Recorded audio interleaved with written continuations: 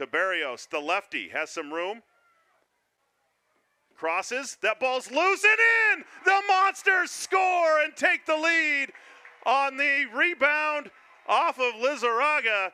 That's number 18, Bruno Hurtado Antello, and the Monsters lead 2 to 1. Give the assist to Barrios.